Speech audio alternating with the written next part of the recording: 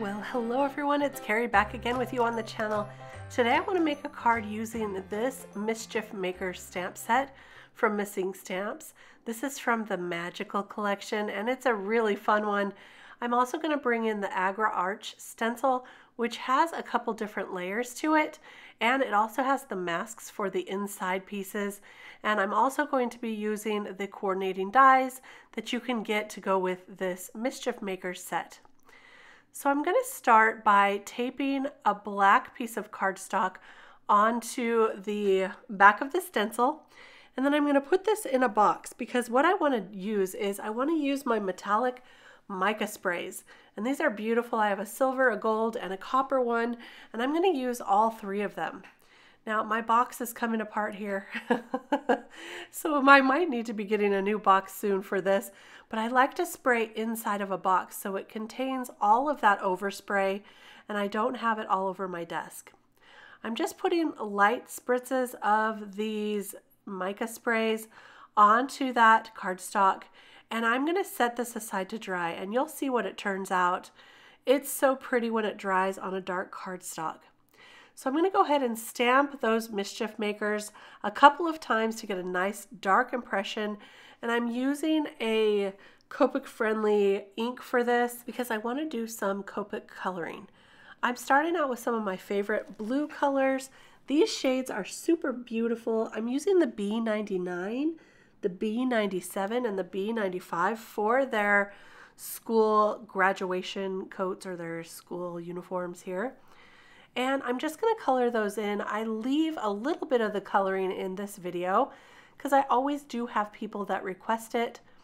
My favorite way to color is to start with the darkest and then blend that out with the mid-tone shade and then go in with the light shade at the end and blend through all of that to get a really good color variation.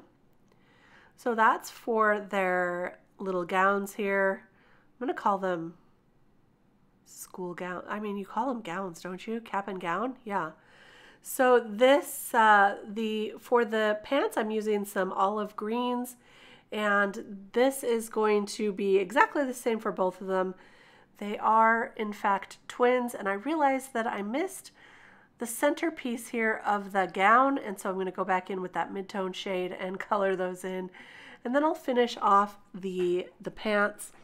I'm using YG97 YG95 and YG93 for this section.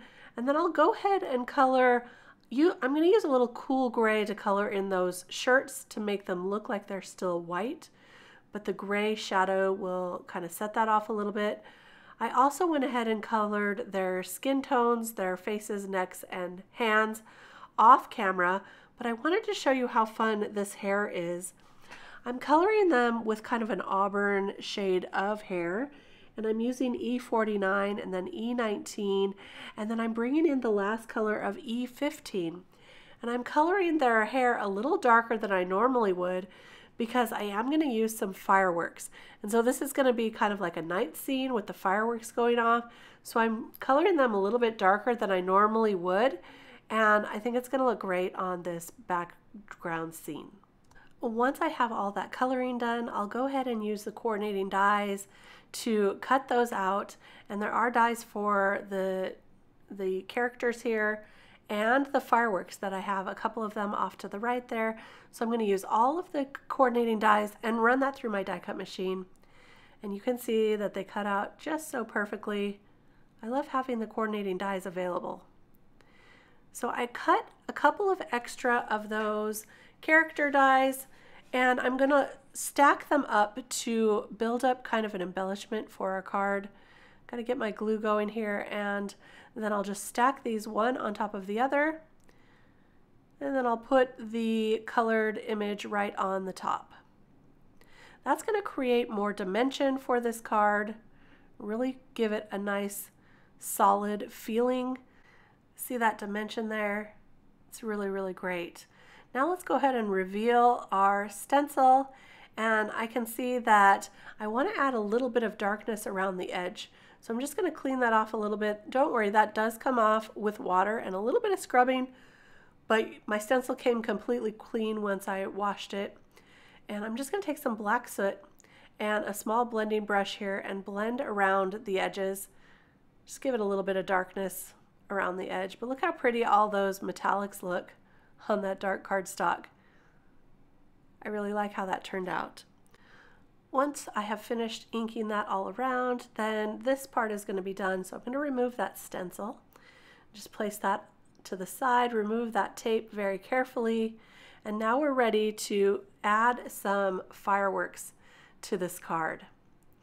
So I'm going to choose a couple of the fireworks. One of them is kind of a shooting star looking thing. There's a larger firework and a smaller one.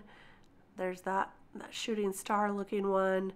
And I'm going to go ahead and stamp all of these down using some Versa, Versamark, yeah, Versamark sticky ink. And I've got these really great glittery embossing powders. I don't even think these are available anymore, but I have them in my stash and I really love how they work on a dark cardstock. You can use whatever you have. You can even use just lighter em embossing powder or glitter embossing powders. Those tend to look really great on dark cardstock. I'll set this all up in my MISTI here and then I'm going to place my magnet down so this does not pull that panel up and then I'll use a, an embossing powder tool here just to make sure it doesn't stick where I don't want it to. So there's the Versamark and I'm going to stamp this down a couple of times and then I'll use a couple of different colors of that glittery embossing powder.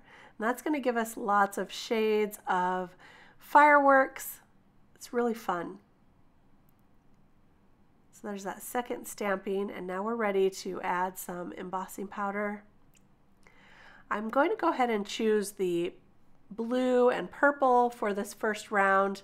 So I'll go over to the side here, add a little bit there, put that embossing powder away, and then I'll add a little bit of the purple over here to the right. And I'll shake that off and heat emboss that.